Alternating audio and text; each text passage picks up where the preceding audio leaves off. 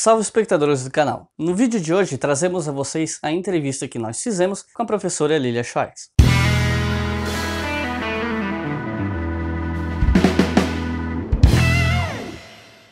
Como eu disse para vocês no último vídeo, nós fizemos dois vídeos em São Paulo para postar aqui no canal, e esse é o segundo deles. O primeiro é aquela conversa que eu tive com o Pirula e o Felipe Figueiredo, se vocês ainda não viram, procurem aqui no canal, que é bem recente, e o outro é essa entrevista. Nessa viagem que nós fizemos a São Paulo, nós tivemos a oportunidade de entrevistar a professora Lilia Schwartz, historiadora e antropóloga que faz parte do corpo docente da USP e é autora de diversos livros, sendo o mais recente deles Lima Barreto Triste Visionário, lançado pela Companhia das Letras, se eu não me engano, ano passado. A entrevista foi realizada pela Mariane e nela falamos não só sobre a carreira da Lilia, mas também sobre a intersecção entre história e antropologia as polêmicas sobre arte recentes aqui no Brasil, entre vários outros assuntos.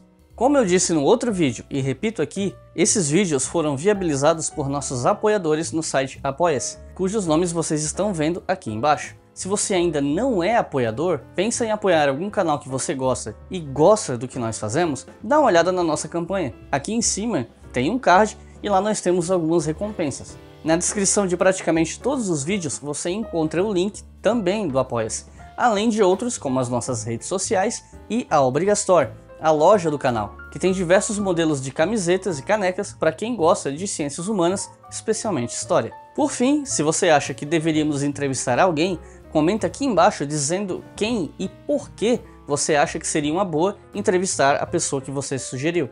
E sem mais enrolação, vamos ao vídeo.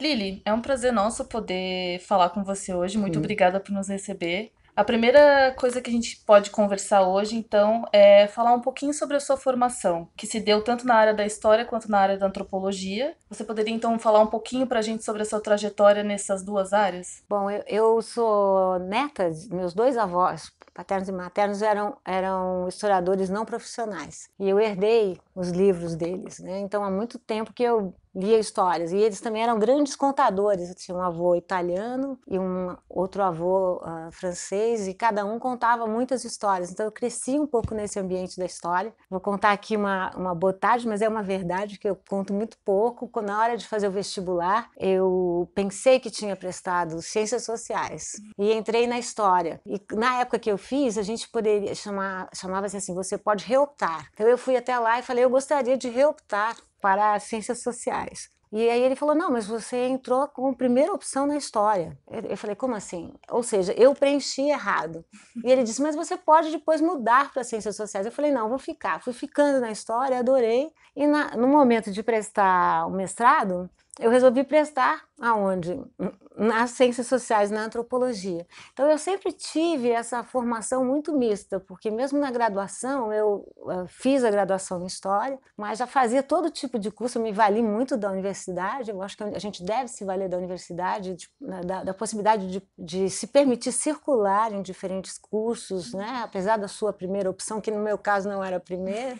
E aí eu fui formando um programa, um, para mim mesmo, uma espécie de vocabulário disciplinar muito muito misturado. Fiz também um pouco de filosofia e, uh, e optei por antropologia um pouco por uma questão, uh, porque eu conheci o Carlos Rodrigues Brandão, porque a Manuela Carneiro da Cunha estava lá, o Antônio Augusto Arantes, o Peter Frey, estavam todos na Unicamp, na antropologia, e eu resolvi prestar. Mas eu sempre fui uma espécie de terceira margem, né? Ou seja, entre os historiadores, eles falam, ah, mas ela é antropóloga. E entre os antropólogos, todo mundo diz, não, mas ela é historiadora.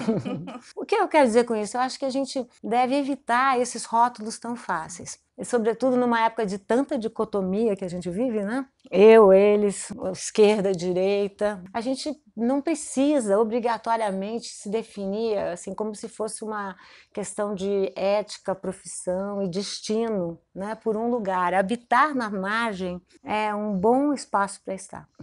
Isso vai bem é, em direção à nossa próxima pergunta, que é sobre interdisciplinaridade, né? A gente uhum. ouve muito falar sobre isso na academia uhum. e a gente queria saber como é que essa tua, esse teu trânsito entre essas, entre essas duas áreas, né? Você já falou um pouquinho, mas a gente quer saber como é que isso te contribui, né? Como isso te ajuda, como uma área, tipo, ajuda a outra no teu processo de trabalho, no teu processo de escrita, de pesquisa. Então, quando eu fui fazer o mestrado e o doutorado, essa área que agora que já é uma área quase bastante constituída, né? Uma área de história, história da antropologia, uhum. nome que, que se queira dar, ela basicamente não existia. Então, acho que o que nós tínhamos era muito mais um discurso favorável à interdisciplinaridade do que uma prática de, de fato de interdisciplinaridade. Eu costumava brincar que fazer, ser interdisciplinar era cruzar o corredor que na USP vai, enfim, a gente pega um corredor que vai das ciências sociais para letras ou para história, cruzar o corredor com um livro embaixo do braço, né? Uhum. Mas eu penso que a gente pode mais do que uh, fazer uma oratória sobre a interdisciplinaridade, se valer desses locais. Então, eu penso que a história da antropologia, uma noção de tempo muito importante, né? Ou seja, é, é uma forma como nós começamos a é possível problematizar as noções de tempo, as noções de continuidade, as noções de espacialidade, ou seja, nós estamos mais acostumados na antropologia a pensar, uh, vamos dizer, o espaço, né? pensar, pensar certos marcadores como uhum. raça, gênero, geração, classe, mas nós estamos pouco acostumados a pensar num marcador importante nas nossas vidas, que é a questão da história e do tempo. Então, acho que a história me deu primeiro isso e também me permitiu, nas minhas pesquisas, uh, recuar ao passado, mas com olhos de antropologia, da antropologia. Então, por que, que eu acho que eu faço uma historiografia totalmente contaminada pela antropologia? Porque eu penso que eu vou atrás da, de questões com os marcadores sociais da diferença. Né? Acabo de publicar um livro sobre Lima Barreto, onde os marcadores como sexo e gênero, geração,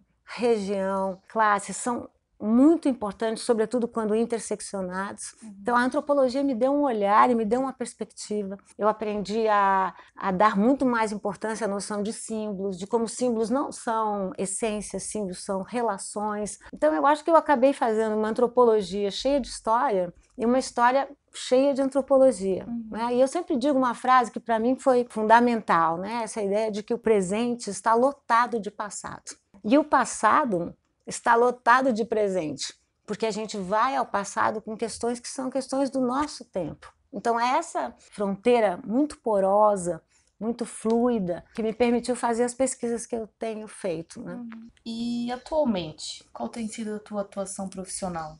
Aí é a poli polivalência, né? Quatro horas, né?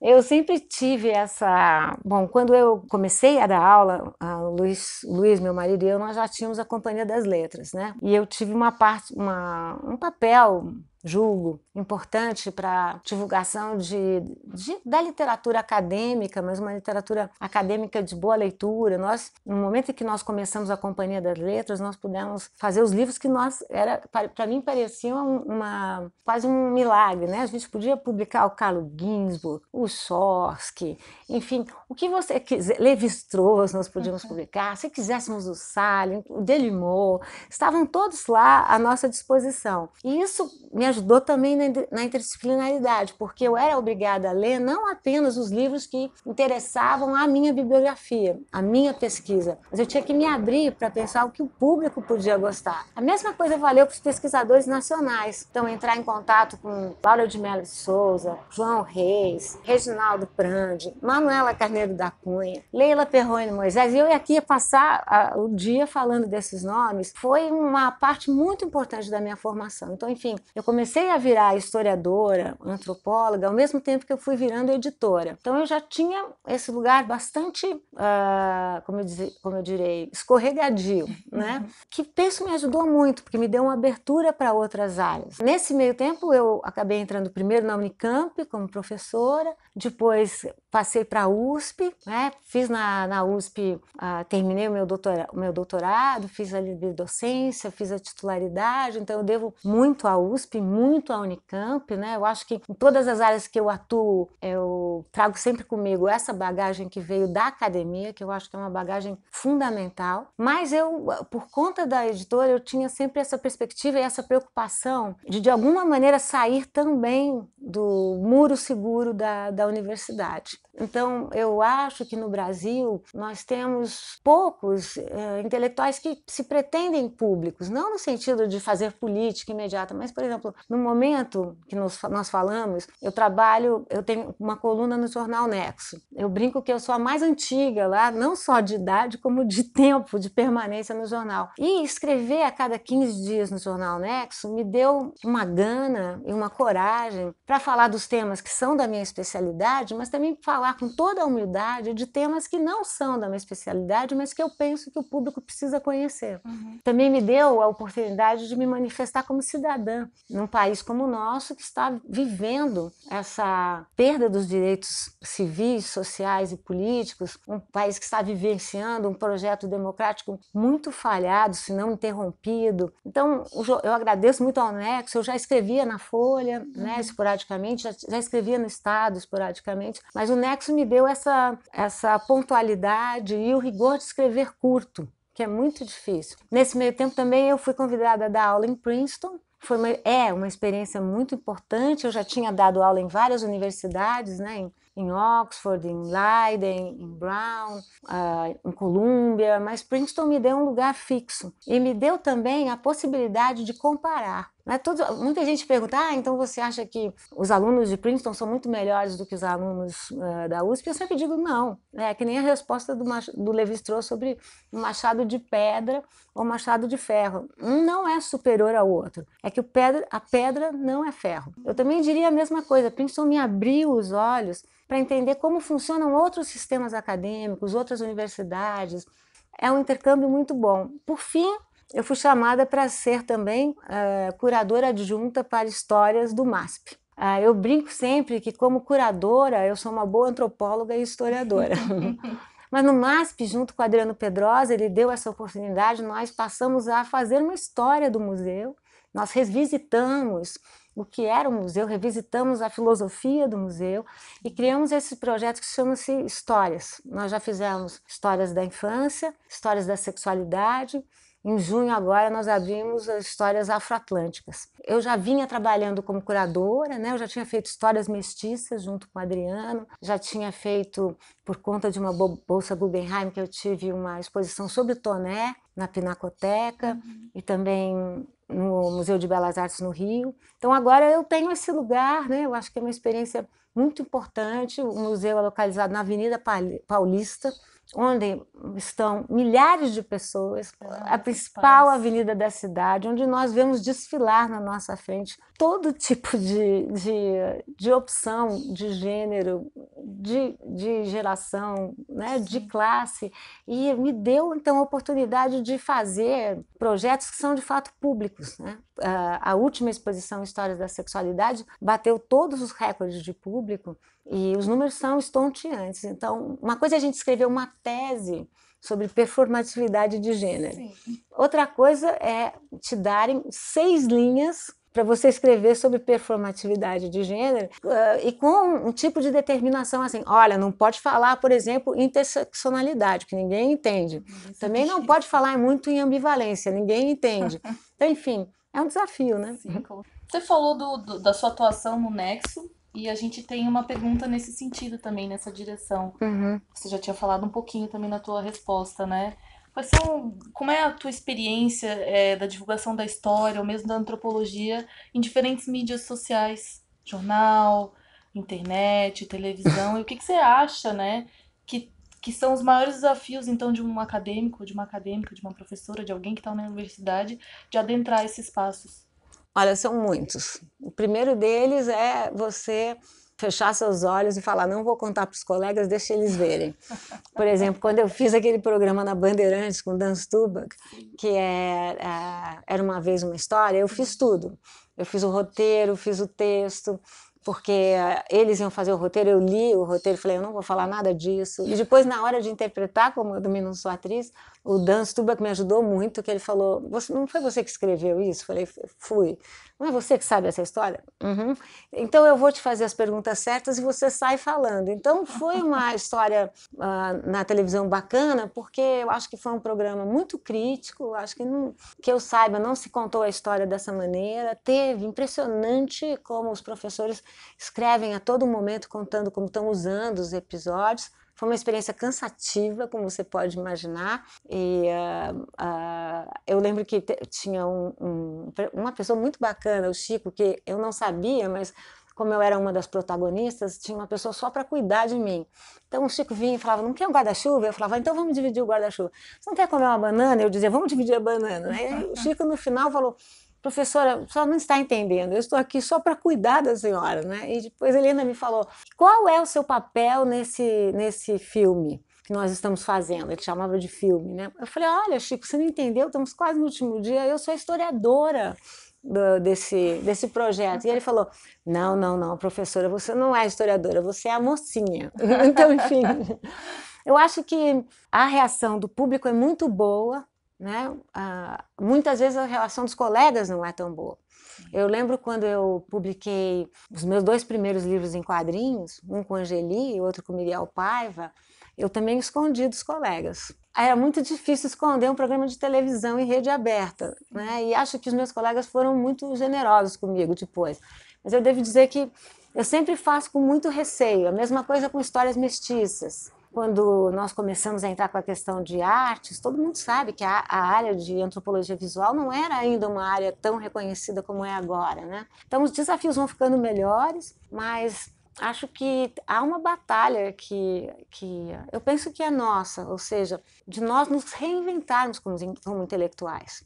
Sabe, nós estamos numa época que a influência da internet, a influência da televisão, a influência de todas essas mídias, é, ela é avassaladora. E que se nós não ganharmos também esses espaços, o problema é que o perigo é o enquistamento. Uhum. É que a gente fale muito bem, isso, mas só entre nós eu preservo muito o lugar da academia. Eu acho que há conversas na academia que só se tem na academia. Você vai passar por uma defesa de doutorado, que é um privilégio que em que lugar que as pessoas ficam cinco a seis horas discutindo um texto dessa uhum. maneira? E como isso é importante, como as nossas revistas são importantes, mas eu acho que não é, eu não trabalho com a lógica do, do ou, mas com a lógica do e. Então, o nexo, por exemplo, me trouxe essa, essa alegria mesmo de poder me pronunciar como cidadã. Né? E eu tenho tido muitas respostas, tenho sido chamada para uma série de aulas inaugurais, e muitas vezes os alunos pedem aula inaugural, eu acho que é por causa dos meus livros, falam, não, não, não, não, é por causa do seu artigo do Nexo que você escreveu, não sei o quê. Então acho que está tá valendo, não está? Está tudo muito bom, né? Você foi é, curadora de exposições de super projeção nacional, como histórias mestiças, histórias da sexualidade. É, você poderia falar um pouquinho para a gente sobre essa relação entre antropologia, história e museu, que tem tudo a ver, eu acho? Uhum. Eu sempre fui uma pessoa aficionada por arte, né? Fiz uma coleção de arte na minha casa, quando ainda era possível fazer, e sempre visitei muitas exposições, sempre, sempre li muito sobre arte. E desde o meu do mestrado, que era chamava-se Retrato em Branco e Negro, eu já usava muito as imagens dos jornais e analisava isso, isso que vai agora aparecer nas histórias afroatlânticas, os anúncios, as posturas de corpo. Depois, no doutorado, o espetáculo das raças, eh, eu fiz o texto da tese e havia uma, expo, uma exposição que eu brincava que eram os bigodudos, que eram todos os diretores de instituições. Ah, na minha livre docência, que foi As Barbas do Imperador, era o diálogo com a, com a imagem era evidente, né? quer dizer, as imagens uh, intermeavam né? todo o texto. O livro tem 600 imagens, a tese tinha 1.200 imagens, né? E uh, numa época que não se fazia tanto. E aí a, a, minha titularidade foi em volta do Toné, né, do Nicolas Antoine Toné, que eu tive essa bolsa Guggenheim, eu usei para viajar e para recuperar todos os, todas as obras do Toné. Fiz um catálogo, fiz um livro que se chama O Sol do Brasil, que eu gosto muito, né? É porque, e pesquisei esse personagem que era absolutamente cativante, né? uma pessoa que detestou o Brasil, né? que achava que o, o azul do céu era azul demais, era artificial, que achava que a nossa floresta tinha muita variação de verde, que não cabia na palheta e não havia necessidade de tantos verdes, ele dizia isso. E que o sol do Brasil insistia em se movimentar. Então, todo mundo lê o sol do Brasil, acho que é um elogio, mas não é. Cada capítulo começa com um viajante, uma, e sobretudo o Toné, acabando com o nosso sol, dizendo que é impossível pintar com o sol do Brasil e que ele ofusca tudo e que ele é irritante. Então, enfim, era um personagem maravilhoso eu consegui fazer, por causa da bolsa, duas exposições grandes e, essa, aí eu me lancei mesmo na, nessa questão. Porque foram duas exposições, uma na, no Museu de Belas Artes, outra na Pinacoteca. Toné nunca tinha, as obras napoleônicas do Toné, que eram imensas, nunca tinham aparecido aqui. E foi assim, uma, eu falo isso comovida. Depois eu fiz uma exposição para o livro que se chama A Longa Viagem da Biblioteca dos Reis, e que eu conto a independência do Brasil a partir da perspectiva dos bibliotecários, que detestaram viajar para o Brasil. Eu sempre pego esses personagens ranzinhos aí, sabe? E, mas também criativos, né? E, uh, e foi nesse meio tempo que eu fiz, escrevi um livro com a Adriana Varejão, ah, na verdade, foi a Adriana que me escolheu, não o contrário. Né? Ela que disse que queria que eu fizesse. Eu disse: Eu não entendo nada da sua obra. E esse livro foi muito importante para mim, para ela. Nós escrevemos juntas, ficamos cinco anos escrevendo juntas. E uh, aí ela me apresentou ao Adriano Pedrosa, e aí a gente nós nos lançamos nessa exposição que chamava-se Histórias Mestiças. Compramos a briga com o termo mestiçagem e a gente começava a exposição dizendo que mestiçagem como diz também, a, mostra muito bem a Laura Moutinho, mestiçagem é mistura, mas mestiçagem é separação. E que não dá para pensar se não for dessa forma. A exposição teve muito boa repercussão, o Adriano acabou sendo contratado como diretor, curador-diretor do MASP e logo ele me chamou. E eu entrei nesse mundo de museus. O que agora a sua pergunta propriamente dita e mais teoricamente. Eu já estuda, eu tinha estudado muito a dinâmica de um museu no meu doutorado, no espetáculo das raças, porque o primeiro capítulo era sobre os museus de etnologia. Então eu já tinha uma reflexão sobre a importância do museu na base, na constituição da antropologia. Uhum. Né? Quer dizer, os primeiros museus museus de etnografia, que eram museus evolutivos, museus etapistas, né, que são museus maravilhosos, né? Me dê todos os remos, remo, remo, remo, remo, remo, remo. Me dê todas as máscaras, máscaras, máscaras, máscaras. Me dê todos. Então eu também me contaminei por essa questão da linguagem do museu de etnografia e, por exemplo, no, nas histórias mestiças, a gente sempre jogava com isso, né? Com a ideia de personagens e máscaras, trilhas e rotas, uhum. cosmologias e emblemas nacionais. Então essa linguagem da antropologia já estava muito presente nas exposições que eu fazia. Na exposição Histórias da Infância, a discussão sobre a questão da geração era fundamental para a exposição. Eu aprendi com o quê? Com a antropologia. Nessa exposição Histórias da Sexualidade, eu coloquei toda a minha expertise com os museus de etnologia num gabinete que eu fiz. Né? A exposição Histórias da Sexualidade era dividida em várias sessões, né? A primeira Corpus Nus, que uhum. nós colocávamos todo tipo de corporalidade. Falávamos de gênero, mas também falávamos de questão física. Uhum. Ah, tinha uma outra que se chamava-se performatividade de gênero, outra que se chamava voyeurismo, todos temas que outros, outros chamavam mercado de sexo, né? E uh, havia uma que eu gostei muito que se chamava totemismo. O Adriano falou para mim: você vai ter que me explicar muito bem por que, que totemismo é nome, como é que o público vai entender, não sei o quê. Conseguimos, eu acho, e uh, nós fizemos uma, um gabinete igual a, a, um museu de etnologia do século XIX. Tinha um gabinete onde nós colocamos vários falos, né? Desde, provenientes desde a época pré-colombiana até a Márcia, a Márcia X que faz aqueles falos que se movem, e que tem terços, e que tem cabeças, e tem pompons e tudo mais. Mas se vocês olharem aquilo, o modelo era um modelo de museu de etnologia. Então eu penso que a antropologia tem tudo a ver com essa área.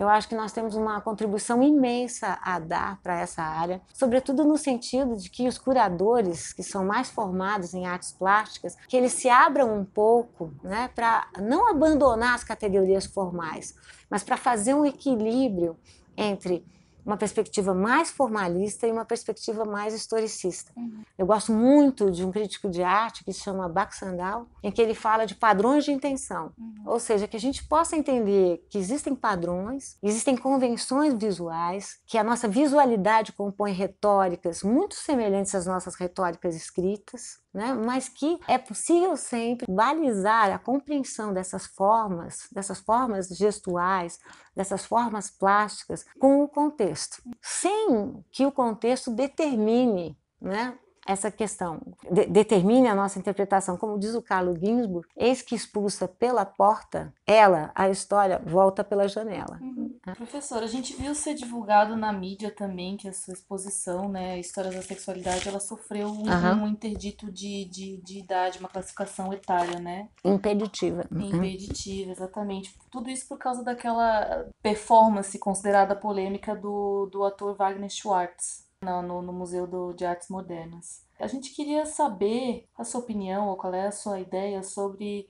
essa questão da sexualidade ainda ser vista por muitos segmentos conservadores da sociedade como algo que não se deve falar, como algo que não se deve estar numa exposição dentro de um museu que passa por um cuidado, né? Uma exposição passa por um cuidado de uma seleção criteriosa de quais objetos, é, telas podem estar e podem não estar. Conta uma narrativa, né? Tem uma intenção. Então a gente queria saber a, a sua opinião sobre, sobre essa, essa questão mais conservadora da sociedade atual e que medida os museus e as exposições ajudam a quebrar esses paradigmas, né? Ajudam a levar essa informação ou essa ideia ou essa não naturalização de uma sexualidade normativa. Bom, nós estamos vivendo num período de muito retrocesso, né?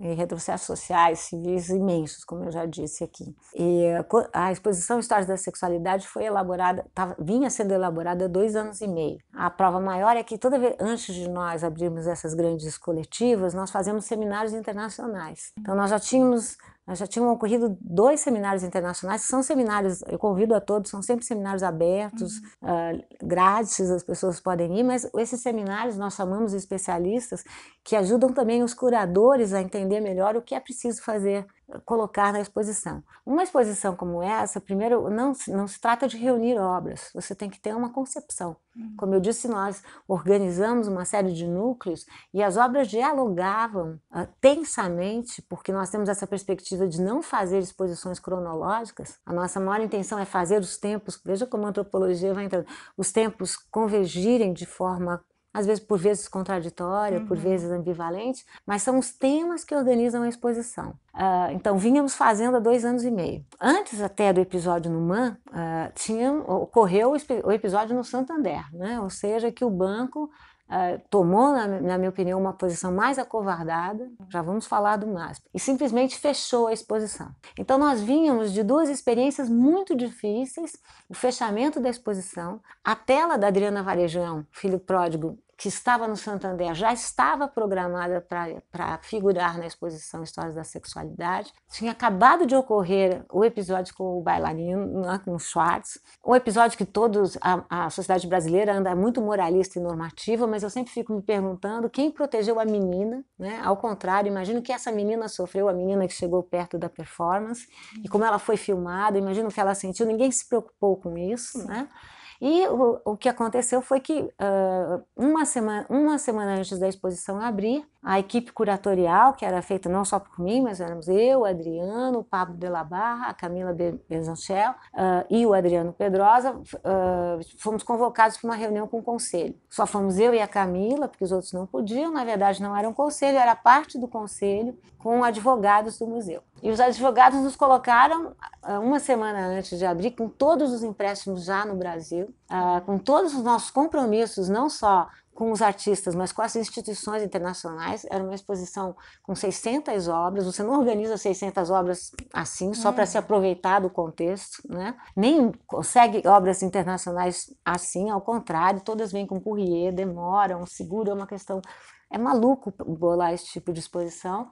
Os, os, advogados nos colocaram diante da seguinte dúvida, quimera mesmo, ou seja, ou nós colocávamos alguma as, as obras que eles consideravam impeditivas para 18 anos numa sala separada, ou nós teríamos que correr, cortar cerca de 40% da exposição. Era uma posição muito difícil, era uma escolha de Sofia, porque uh, cortar 40% das obras era ter toda a comunidade internacional e nacional contra nós, e colocar as obras uh, numa sala especial me lembrava, eu até escrevi sobre isso no Nexo, a exposição uh, de arte degenerada feita na Alemanha uhum. no ano de 1938, em que se retiraram obras de artistas como Klimt, uhum. Costa, que nós gostamos tanto, né? Colocaram numa sala especial para mostrar, olha, isso é degeneração. Então, a, a curadoria fez uma opção difícil, a gente sabia que ia enfrentar a turma, mas nós pensamos que o nosso grande objetivo era manter a exposição aberta,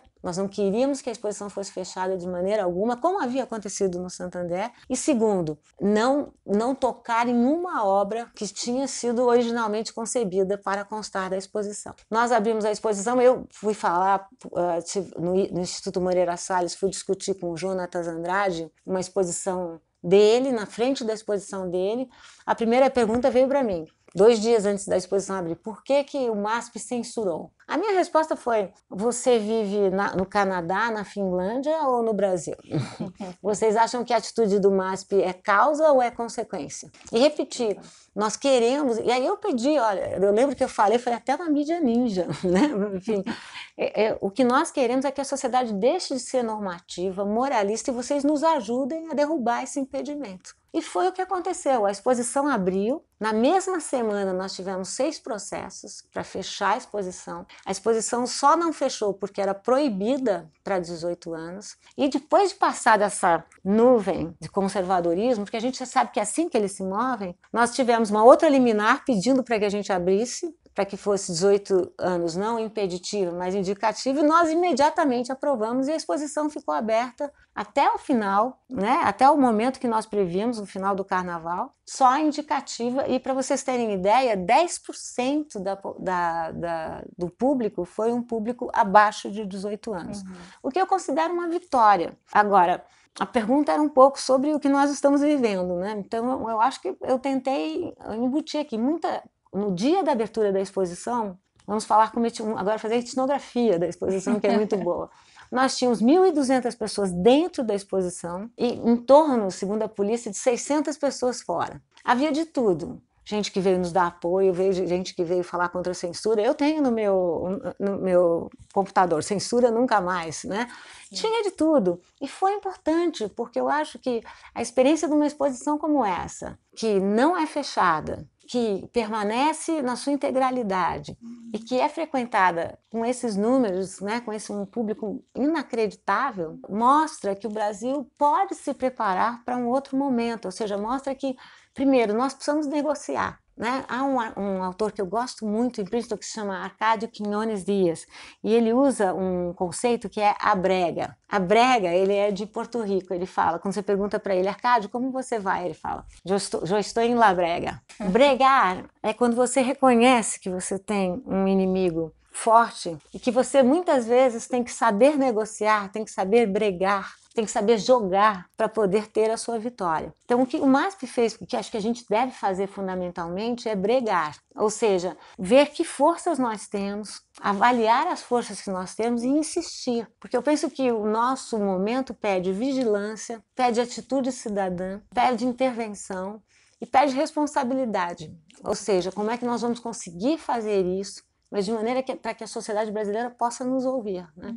Em junho do ano passado, você lançou o livro do, do Lima Barreto, né, Triste Visionário, e nele as questões de cunho racial elas adquirem um tom central para pensar não só a trajetória do, do jornalista, escritor, mas também um pouco do contexto da sociedade brasileira em que ele vivia, né? Uhum. E aí nesse sentido eu quero te fazer a última pergunta, que aí eu puxo um pouco para a antropologia, é como que a gente pode pensar esses marcadores sociais da diferença de raça, de sexualidade, de classe, como pontos para a gente fazer essa ciência, né? para a gente fazer antropologia, ou mesmo para a gente pensar a, a história, e como isso ajuda no, nas nossas produções atualmente. Bom, eu faço parte com muito orgulho do grupo Numas, né? Fazemos, né? Fazemos todos nós aqui. Eu me orgulho de ter pensado no nome, né? Que estou Numas, que é muito bom nos núcleos marcadores. Lembro uh, que a gente estava numa reunião inicial com o Júlio Assis Simões, a Heloísa Buarque, a Laura Moutinho e Uh, penso que o conceito vinha muito das pesquisas do Júlio e da Laura, sobretudo a questão da interseccionalidade, que foi o que eu aprendi muito com o Numas. Né? Uhum. Eu acho que quando nós começamos esse conceito, são 10 anos agora, né? Isso que nós vamos celebrar, não é? fazendo o seminário. É, é eu, eu estive na reunião. Esse, esse conceito, marcadores sociais da diferença, ganhou uma importância que, salvo engano, e humildemente eu digo que não, existe, não tinha, né? Quer dizer, o grupo consolidou um conceito que já existia, é claro, mas que, enfim, o, o grupo colocou em prática. E colocou em prática, sobretudo, expondo em diálogo pesquisas que partiam de questões muito distintas. Como é que, Júlio, como é que geração dialoga com gênero e sexo? Laura, raça, gênero e sexo. A Heloísa, né, com toda a pesquisa dela de geração e de gênero. Eu também tinha, eu vinha perseguindo sempre a questão, sobretudo da raça, desde o meu mestrado. Mas no Lima Barreto foi um momento em que eu tive, foi uma pesquisa de muito fôlego, foram 10 anos, né? E que eu pude me valer desses conceitos que eu aprendi no Lumas. Mais do que entender cada marcador separadamente, eles propõem uma outro tipo de narrativa quando compreendidos de forma interseccionada, ou seja, quando você colo coloca em tensão elementos como esses marcadores que nós estamos citando aqui na nossa conversa durante tanto tempo. Então, no caso do Lima Barreto, Lima Barreto construiu a sua literatura a partir de determinados lugares. Por exemplo, ele se dizia um escritor dos subúrbios. Uhum. Você já tem aí um discurso de região muito claro. Eu digo que ele faz uma literatura em trânsito, que é do subúrbio ao centro, do centro para o subúrbio. E o que é mais interessante, quando ele estava do, no subúrbio, ele é, ele se via como um funcionário do centro, que é o nome que eles davam para a capital, porque tudo é Rio, certo? Quando ele estava na capital, ele se dizia do subúrbio, falava da linguagem do subúrbio. Outra questão importantíssima, geração. Lima Barreto é de uma geração subsequente à geração de Machado de Assis, mas Machado de Assis era incontornável nesse momento. Na biblioteca do Lima Barreto eu encontrei, ele tinha todos os livros do Machado de Assis. No entanto, ele se construiu como um anti-Machado de Assis, não na literatura, mas no projeto de inserção nesse clube da literatura, desse clube da República. Uh, ele criticava a academia, ele criticava os, os escritores burgueses, que ele uhum. criticava, como é que ele dizia, os escritores alambicados, né? Enfim, e tinha, e, e, na verdade quando ele falava da literatura de Machado, ele gostava muito, eles estavam muito mais próximos do que distanciados. Vejam como, veja como a questão de local, ou seja, ele é do subúrbio, e geração já, já interseccionam de uma forma muito evidente. A briga de Lima Barreto também com os modernistas paulistanos, né, foi também fundamental. Ele uh, recebeu a claxon das mãos, das mãos do Sérgio Buarque de Holanda, não era o grande historiador, era um novato, bastante boêmio, bastante dandy, bastante janota. O que é que fez Lima Barreto? O que sempre fazia? Falou, não gostou, disse que claxon lembrava buzina, que buzina lembrava modernidade, que modernidade lembrava estrangeirismo, e que aquele tal de Marinette não tinha nada a ver, que todo mundo conhecia, e que aqueles paulistas, enfim, ele tinha um problema com os paulistas né? Ele chamava o Graça Aranha de Desgraça Aranha, enfim. Ele agiu, mas ele fazia naquele seu estilo bate-sopra. Então ele bateu e depois ele falou: "Não, mas muito bem-vindos à nossa, né, essa nova essa, essa nova modernidade que não é tão moderna". Bem Lima Barreto. E os paulistas fizeram o que fizeram e jogaram Lima Barreto para um lugar entre e com pessoas com, com, as quais ele não se reconhecia, inclusive o Graça Aranha Sim. ou o Coelho Neto. Então, veja como para mim a questão de região era fundamental. A questão de raça. Num momento do pós-abolição, em que ninguém falava desse tema, que esse era considerado, nos termos da época, um termo, anti, um termo antipático, o Lima Barreto falava a todo momento. Uhum. Se vocês pegarem Isaías Caminha, a descrição do ritual de Isaías Caminha, de sair do subúrbio parar para pedir uma média e conhecer o preconceito quando o dono do bar não lhe serve uma média uhum. e serve a um menino branco, loiro. É um Lima Barreto muito forte. Quando ele descreve as relações do pai e da mãe, o pai era um pai do Isaías Caminha, né? Uhum. O pai, um padre, a mãe, uma ex-escravizada, e como eles não se falavam. Uhum.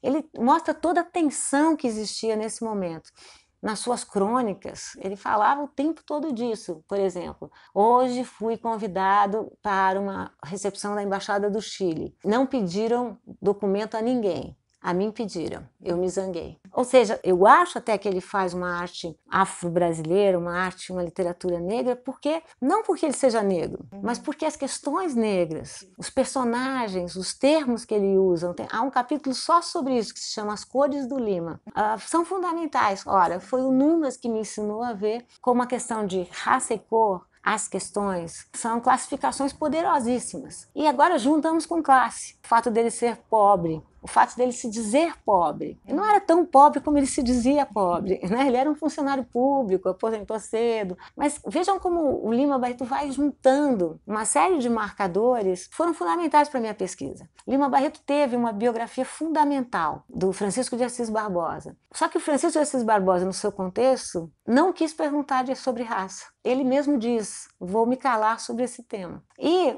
eu penso que não existe pesquisa definitiva. Não existe biografia definitiva, porque cada momento volta ao passado, interpela o passado a partir de questões que são do seu presente. Então eu interpelei Lima Barreto a partir de questões que eu aprendi na academia e que eu aprendi na nossa sociedade, porque penso que a minha geração foi uma geração que eh, lutou e presenciou muito essa linguagem dos direitos civis. Uhum. E eu encontrei, com todo o medo do anacronismo e nos termos do Lima Barreto, um autor que no começo do século XX tinha uma pauta, né? ele chamava de uma literatura militante. Então, era uma literatura, dizia ele, pelos pobres, pelos oprimidos, que podem ser pobres ou podem ser ricos, uma literatura contra a violência das mulheres, apesar dele ter essa posição tão contraditória em relação Sim. às mulheres, né? mas ele é muito interessante o que ele diz. Ele diz são muitos feminismos, ele diz eu sou contra esse feminismo